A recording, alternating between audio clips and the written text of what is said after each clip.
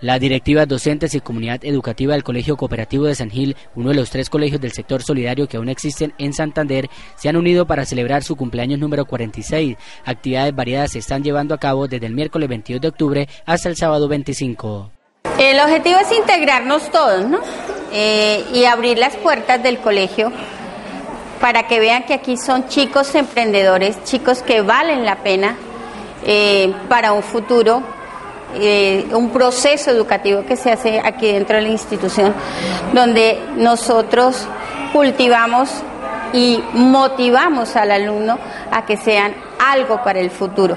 No solamente dar conocimientos, es también dar cariño, es también oírlos porque ellos necesitan ser oídos, es también llamarle la atención cuando se necesita llamar la atención, es también motivarlos a hacer una serie de exposiciones donde ellos mismos muestren que son capaces de hacer.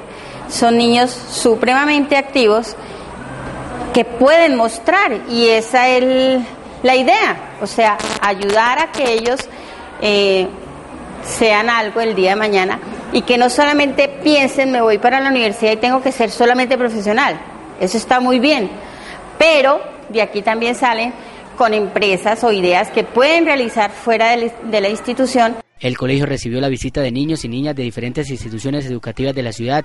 Ellos realizaron un recorrido por las actividades preparadas para la ocasión. Docentes y estudiantes del colegio coordinaron las exposiciones y actividades de las que destacamos la muestra gastronómica, teatrinos, cultura, danza, lúdica, recreativas y todo un mundo de fantasía infantil que están súper invitados a la fiesta del colegio cooperativo, que la tienen que venir a vivir, que está muy bueno y que el cooperativo los espera con las puertas abiertas. Pues que bien, porque no es normal hacer sí, el colegio ha durado hasta aquí mucho tiempo para que esté todavía como un colegio y estemos creciendo cada vez más. ¿Qué le mandas a decir a nuestros televidentes?